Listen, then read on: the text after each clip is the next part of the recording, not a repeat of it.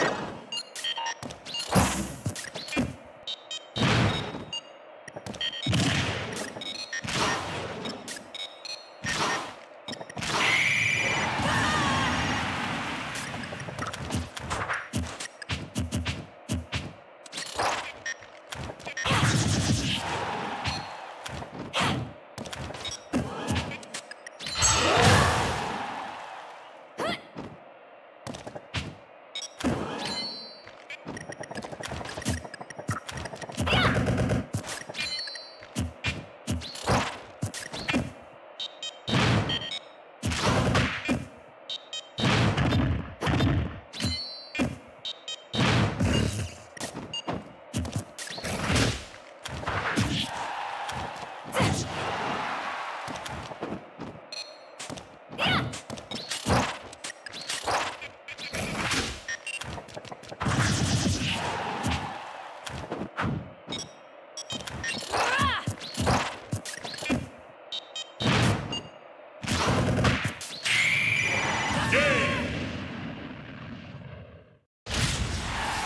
winner is...